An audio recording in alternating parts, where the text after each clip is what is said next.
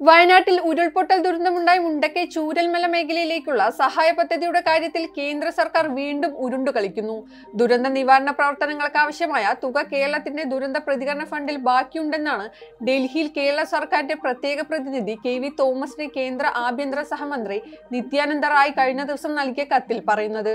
പ്രധാനമന്ത്രിയുടെ ഓഫീസിൽ നിന്നുള്ള നിർദ്ദേശപ്രകാരമാണ് ആഭ്യന്തര സഹമന്ത്രി മറുപടി നൽകിയതെന്നാണ് വിവരം.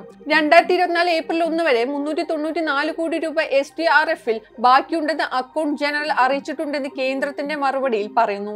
രണ്ടായിരത്തി ഇരുപത്തിനാല് ഇരുപത്തി അഞ്ചിൽ എസ് ഡി ആർ എഫിലേക്ക് മുന്നൂറ്റി എൺപത്തെട്ട് കോടി രൂപ കൈമാറിയതിൽ ഇരുന്നൂറ്റി തൊണ്ണൂറ്റൊന്ന് കേന്ദ്ര വിഹിതമാണ് പ്രത്യേക സഹായമായി ആയിരത്തി അഞ്ഞൂറ് കോടിയോളം രൂപയാണ് കേരളം ആവശ്യപ്പെട്ടത്.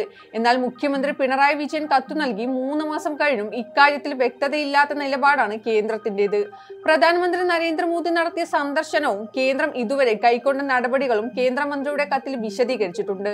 കേരളം ആവശ്യപ്പെടാതെ തന്നെ സ്ഥലം സന്ദർശിച്ച് സ്ഥിതി മനസ്സിലാക്കാൻ കേന്ദ്ര സംഘത്തെ നിയോഗിച്ചിരുന്നുവെന്നും അവരുടെ റിപ്പോർട്ടിന്റെ വ്യവസ്ഥകളുടെയും അടിസ്ഥാനത്തിൽ തുടർ നടപടി ഉണ്ടാകുമെന്നുമാണ് പറയുന്നത്.